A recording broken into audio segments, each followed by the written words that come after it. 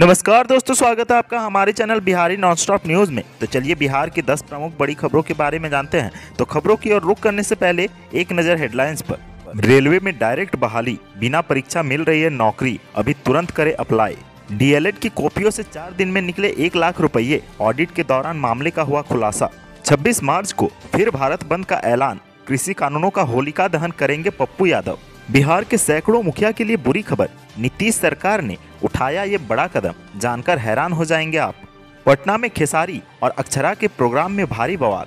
कार्यक्रम छोड़ के भागे दोनों, मौके पर पहुँची पुलिस। होली के पहले पटना वासियों को मिलेगी सौगात। आर ब्लॉक जीपीओ फ्लाईओवर का उद्घाटन 25 मार्च को। राज्य में दाखिल खारिज का झंझट खत्म। अब ज़मीन रजिस्ट्री के साथ खुद हो जाएगा म्यूटेशन। छुट्टियाँ रद्द होने पर पीएमसीएच में ज़बरदस्त हंगामा। नर्सों ने किया कार्य बहिष्कार। बिहार के ऐसे दो गाँव जहाँ कभी कोई केस मुकदमा नहीं हुआ है, कोई थाने और कचहरी नहीं गया।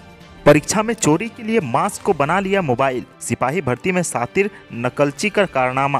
पोल खुली तो भौचक के रह गए लोग। अब खबरें विस्तार से। बेरोजगारी की मार झेल रही युवाओं के लिए एक बड़ी खुशखबरी है। उत्तर मध्य रेलवे में डायरेक्ट बहाली निकाली गई है। उम्मीदवारों को डायरेक्ट नौकरी दी जा रही है। जिन लोगों ने अप्लाई किया है या करने वाले हैं उनके लिए किसी भी प्रकार की लिखित परीक्षा या इंटरव्यू नहीं है। दसवीं के मेरिट लिस्ट के आधार पर कैंडिडेट्स का चयन किया जाएगा। उत्तर मध्य रेलवे की ओर से झांसी शहर में विभिन्न ट्रेड्स में कुल 480 अप्रेंटिस के पदों पर बहाली के लिए नोटिफिकेशन जारी किया गया है। 17 मार्च 2021 से 16 अप्रैल 2021 तक, यानी कि एक महीना तक फॉर्म जमा कर सकते हैं। आवेदन के लिए जनरल यानी कि सामान्य वर्ग के उम्मीदवारों को एक सौ आवेदन शुल्क देना होगा, जबकि एस सी और महिला उम्मीदवारों को सिर्फ़ सत्तर रुपये देने होंगे। इन पदों पर आवेदन के लिए उम्मीदवारों की न्यूनतम आयु 15 वर्ष, जबकि अधिकतम आयु 24 साल तय की गई है। हालाँकि आरक्षित वर्ग के उम्मीदवारों को अधिकतम आयु सीमा में नियमानुसार छूट दी जाएगी। उत्तर मध्य रेलवे की ओर से जारी नोटिफिकेशन के मुताबिक अप्रेंटिस के इन पदों पर नौकरी पाने के लिए उम्मीदवारों को किसी भी प्रकार की लिखित परीक्षा एवं इंटरव्यू नहीं देना होगा, बल्कि दसवीं की मेरिट लिस्ट के आधार पर चयन किया जाएगा। कैंडिडेट्स को किसी मान्यता प्राप्त बोर्ड से पचास फ़ीसदी अंकों के साथ दसवीं पास होना ज़रूरी है। ऐसा आपने भी सुना होगा कि मैट्रिक और इंटर की परीक्षा में पास करने के लिए स्टूडेंट कॉपियों में नोट रखा करते हैं। इसमें कितनी सच्चाई है, यह नहीं मालूम, लेकिन डीएलएड की कॉपियों के मूल्यांकन में इसी तरह का मामला सामने आया है। जहाँ कॉपी जाँच के दौरान पिछले चार दिनों में छात्रों के कॉपियों से तकरीबन एक लाख रुपया कैश बरामद किया गया है। उत्तर प्रदेश के प्रयागराज में यह मामला सामने आया है, जहाँ जिला शिक्षा एवं प्रशिक्षण संस्थान सीतापुर में इन दिनों डीएलएड 2018 बैच के फोर्थ सेमेस्टर की कॉपियों की जाँच चल रही है। इस दौरान गणित की कॉपियों से करीब एक लाख रुपया कैश मिला है। एक शिक्षक ने तो रुपये रखकर फेल छात्रों को पास कर दिया था, जो ऑडिट के दौरान पकड़ में आई। जिसके बाद बिना जाँच हुई कॉपियों को देखा गया तो उसमें से बहुत सारे नोट बरामद हुए। चार दिन में करीब एक लाख रुपए मिलने से ऑडिट करने वाले अधिकारी भी हैरान रह गए। कृषि कानूनों के खिलाफ विरोध प्रदर्शन कर रहे किसानों ने फिर से 26 मार्च, यानी कि शुक्रवार को भारत बंद का आह्वान किया है। किसानों द्वारा बुलाए गए बंद को बिहार में पप्पू यादव की पार्टी का समर्थन मिला है। रविवार को जन अधिकार युवा परिषद के प्रदेश अध्यक्ष राजू दानवीर ने कहा है कि उनकी पार्टी के सभी प्रकोष्ठों के नेता और कार्यकर्ता इस प्रदर्शन में शामिल होंगे और काले कृषि कानूनों की प्रतियाँ जलाकर होलिका दहन करेंगे। कृषि कानूनों की जमकर आलोचना करते हुए जन अधिकारियों युवा पार्षद के प्रदेश अध्यक्ष राजू दानवीर ने कहा है कि ये कानून खेती को अमीरों के हाथों गिरवी रखने वाला है। किसानों की आर्थिक कमर टूट जाएगी और वे गरीबी के दलदल में धस जाएँगे। राजू दानवीर ने जन अधिकार युवा परिषद का पुनर्गठन भी किया है। गौरतलब हो कि 28 मार्च को होली के मौके पर किसानों का प्रदर्शन जारी रहेगा। इस दिन कृषि कानून के बिल की कॉपियाँ जलाकर होलिका दहन का आयोजन करेंगे। इसके तहत 26 मार्च को सुबह 6 बजे से लेकर शाम 6 बजे तक सभी दुकानें और अन्य व्यापारिक प्रतिष्ठान 12 घंटे बंद रहेंगे। इसके बाद 28 मार्च को धरना प्रदर्शन स्थलों पर ही होलिका दहन के दौरान तीनों कृषि कानूनों की प्रतियाँ जलाई जाएँगी।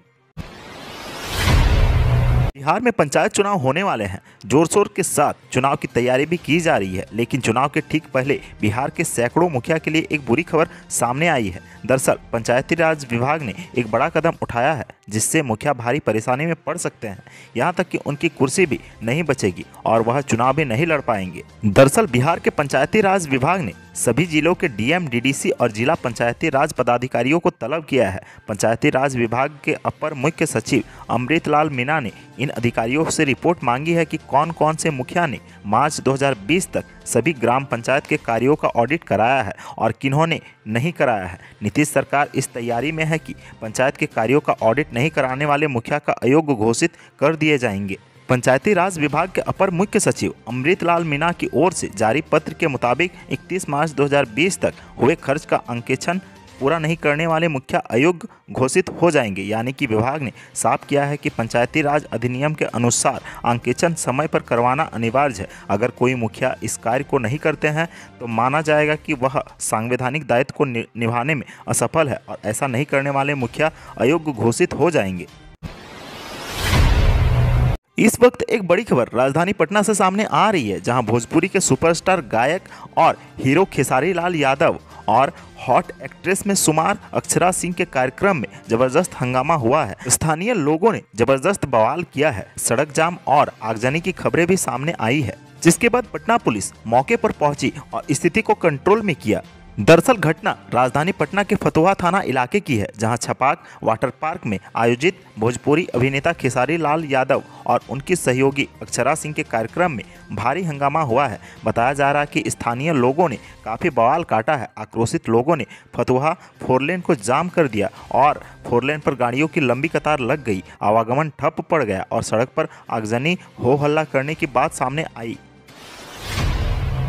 होली के पहले पटना वासियों को बड़ा तोहफा मिलने जा रहा है। पटना के आर ब्लॉक गोलंबर से जीपीओ गोलंबर को जोड़ने वाला फ्लाईओवर बनकर तैयार हो गया है और 25 मार्च को इसका उद्घाटन किया जाएगा। मुख्यमंत्री नीतीश कुमार 25 मार्च को फ्लाईओवर का उद्घाटन करेंगे। बिहार राज्य पुल निर्माण निगम की तरफ़ से फ्लाईओवर का निर्माण कराया गया है। पहले चरण में आर ब्लॉक, रोटरी और सप्तमूर्ति से बीरचंद पटेल पथ का निर्माण कार्य पूरा किया जा चुका था। सितंबर 2020 में इस पर यातायात भी शुरू हो चुका है। अब इस प्रोजेक्ट को पूरा कर लिया गया है। तीसरा आम बनकर तैयार होने के बाद पुल निर्माण निगम की ओर से इसे जनता को समर्पित करने की तैयारी कर ली गई है। मुख्यमंत्री होली के पहले पटना वासियों को यह बड़ा गिफ्ट देंगे। राज्य में अब ज़मीन के खरीदारों को म्यूटेशन, यानी कि दाखिल खारिज के पचड़े में नहीं पड़ना होगा। राज्य सरकार ने ऐसी प्रक्रिया शुरू की है, जिसके बाद अब ज़मीन की रजिस्ट्री होने के बाद खुद ब खुद म्यूटेशन की प्रक्रिया भी शुरू हो जाएगी। इसके लिए अब ज़मीन मालिक को अलग से ऑनलाइन या ऑफलाइन आवेदन करने की ज़रूरत नहीं होगी। सरकार ने इस प्रक्रिया को पारदर्शी बनाने के लिए जो व्यवस्था की है, उसके तहत ज़मीन की रजिस्ट्री के बारे में पूरी जानकारी अपने आप सीओ के पास चली जाएगी। हालाँकि अभी यह सुविधा केवल उन्हीं खरीदारों को मिलेगी जो जमाबंदीदार से ज़मीन खरीदेंगे, यानी यदि किसी ऐसे विक्रेता से ज़मीन खरीदेंगे जिनके नाम पर जमाबंदी है। इसका मतलब यह हुआ कि अगर विक्रेता के नाम से जमाबंदी है तो म्यूटेशन की प्रक्रिया रजिस्ट्री के साथ शुरू हो जाएगी, लेकिन अगर जमाबंदी विक्रेता के नाम से नहीं है और वह ज़मीन किसी ऐसे वारिस के तरफ़ से बेचा जा रहा है जिसकी जमाबंदी नहीं कराई गई है तो पुरानी व्यवस्था से म्यूटेशन के लिए आवेदन करना होगा। राज्य सरकार ने इस नई व्यवस्था के लिए अंचल कार्यालय को निबंधन कार्यालय से जोड़ दिया है। इसके लिए सॉफ्टवेयर भी तैयार किया जा चुका है। 31 मार्च को मंत्री रामसूरत राय इस योजना की शुरुआत करेंगे। इस नई व्यवस्था के शुरू होने से दाखिल खारिज को लेकर न तो विभागीय लापरवाही की शिकायतें मिलेंगी और न ही आम लोगों को बार बार कार्यालय का चक्कर लगाना होगा। बिहार में अचानक कोरोना के बढ़ते मरीजों की संख्या को देखते हुए राज्य सरकार ने हाई अलर्ट जारी कर दिया है। सरकार ने सभी स्वास्थ्य कर्मियों की छुट्टियाँ भी रद्द करने का फैसला लिया है। इसी के खिलाफ पीएमसीएच की नर्सों ने जमकर विरोध प्रदर्शन किया। प्रदर्शनकारी नर्सों ने सुप्रिंटेंडेंट पर जमकर भड़ास निकाली। नर्सों ने कहा कि पिछली बार सभी ने कोरोना वॉरियर के रूप में काम करते हुए आम लोगों की सेवा की थी, लेकिन उन्हें साप्ताहिक छुट्टी तक नहीं दी जा रही है। इसी से परेशान होकर उन्हें विरोध प्रदर्शन करना पड़ रहा है। पीएमसीएच की नर्सों ने कार्य का बहिष्कार करते हुए अधीक्षक डॉक्टर आई ठाकुर के कार्यालय का घेराव किया। प्रदर्शन कर रहे नर्सों की मांग है कि उन्हें कम से कम ज़रूरी अवकाश दिए जाने चाहिए। बिहार में बेतहासा आपराधिक घटनाओं के बावजूद ऐसे भी लोग और बस्ती हैं जो मिसाल कायम कर रही हैं।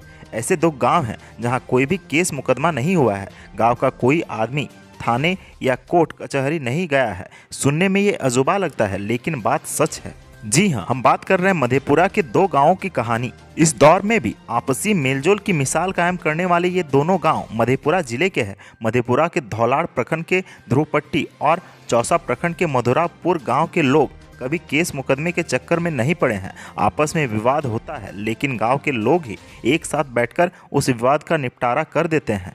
गाँव की बैठक में जिस दो आदेश दिया जाता है, लोग उसे मान लेते हैं। मधेपुरा के इन दो गाँवों में आपसी अमन चैन में पंचायत प्रतिनिधियों ने अहम रोल निभाया है। जिला प्रशासन ने समाज को नई दिशा दिखाने वाले गाँवों के लोगों को सम्मानित किया है। मधेपुरा के जिला एवं सत्र न्यायाधीश, जिलाधिकारी और पुलिस अधीक्षक ने ग्रामीणों को प्रशस्ति पत्र देकर सम्मानित किया है।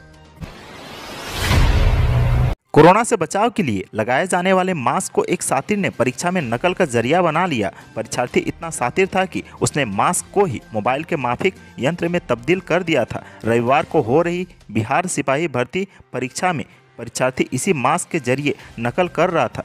उसकी करतूत जब सामने आई तो परीक्षा ले रहे वीक्षक से लेकर पुलिस तक हैरान रह गए।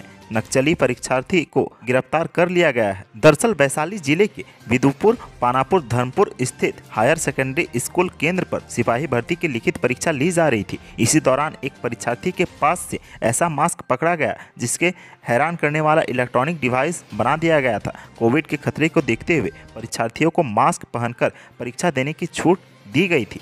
परीक्षार्थी इतना सातिर था कि मास्क को इलेक्ट्रॉनिक डिवाइस से तब्दील कर उसके सहारे नकल कर रहा था। तो आज के सुर्खियों में बस इतना ही। बिहार से जुड़ी खबरों के लिए सब्सक्राइब करें हमारे चैनल को और साथ ही साथ अपने दोस्तों और रिश्तेदारों में शेयर ज़रूर करें। धन्यवाद।